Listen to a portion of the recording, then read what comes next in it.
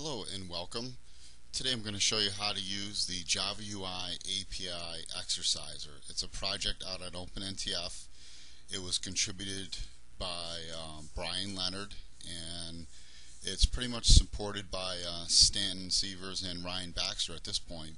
But what this project really does is it allows you to um, see how uh, the different uh, Java UI APIs for Lotus Notes can be used inside of an application. And it actually installs a sidebar application uh, that um, you know listens for events and checks to see what's enabled, and then you can inspect the different elements that uh, that you're looking at. So let's go ahead and get started.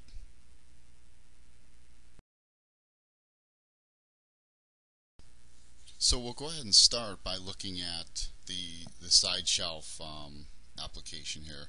We can see here Notes UI elements, and this is kind of like an inspector type tool. So you can click on it on something that you want to look at. Like for instance, this, I can click on this view, the notes view, then I can add the view, and then I can inspect all of the different properties. Shows the different columns, um, you know, if, whether they're hidden or whatnot uh, the different properties, the view ID, uh, the notes URL to open it, etc.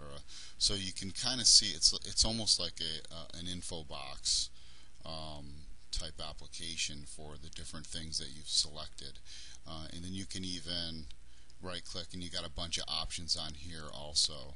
So let's go ahead and remove this. And if we click on the document, now see the same level of properties for the document. And you know just if it's a new doc if it's an edit mode etc current field all the different fields.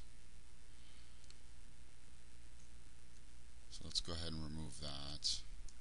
Now if we open this document it's in edit mode so you'll see you know slightly different things you'll see the properties like is it in edit mode it's true. Uh, the current field and you can see as I select the different fields that changes. So it tells me which field I'm in and which field I'm, I'm switching to. So that's pretty much it.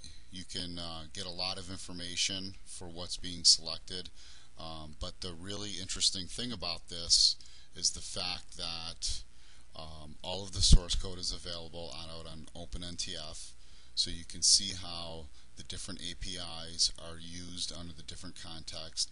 And what I really like about this tool is the fact that it shows you how to integrate your code into the Eclipse subsystem like uh, selection and things like that. Uh, it's got a very good um, tree example. So if you want to create trees or toolbars inside of your uh, view, um, you can learn all of that just by going going and inspecting the source code um, for this neat little application. So hope you liked it. Um, check it out on OpenNTF, download the code or install it, and good luck. Thanks.